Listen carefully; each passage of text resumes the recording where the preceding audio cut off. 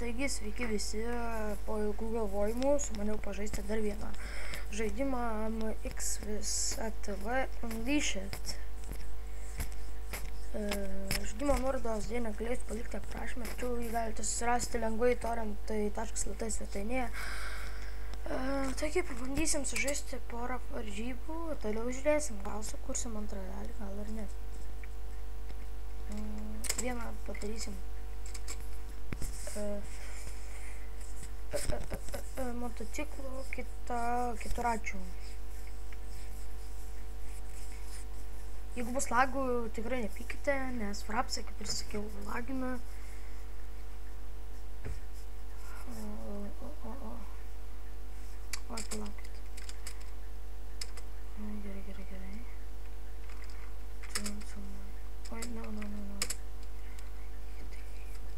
Авторские акции. Сейчас тут 8. Ой, реки президент.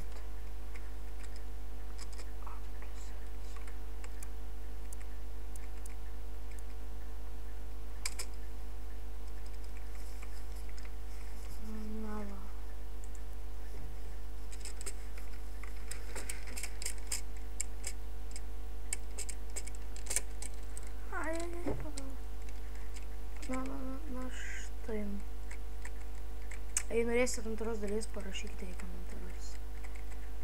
Jeigu ne, tada jau... Ne mano veidas.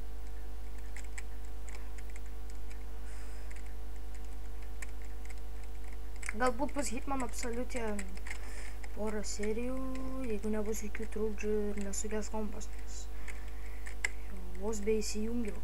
Oi, na, reikia grįžti. Oi, oi, oi, oi, dabar tai negerai. Nu gerai, palauksim. Nu, geriau prakišti. Oi, nu, nu, nu gerai.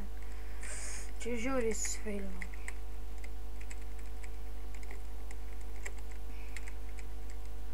Oi, pralaimėsim.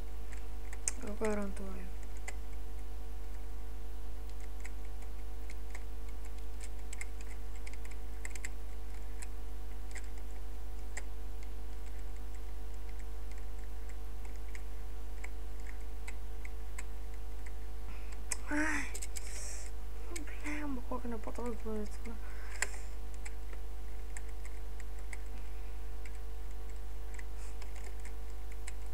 Mm, mm, mm. Aha, ty gdzie? Ty, ty, ksu. Ventures. Not what the riches. Ogal. Oi mesmo. Oi, né?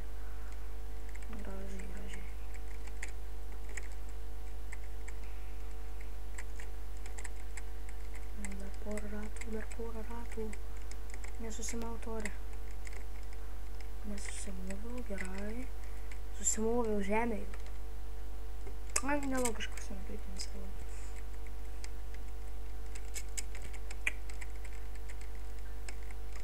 Taip, taip, taip, taip, taip, gerai, gerai.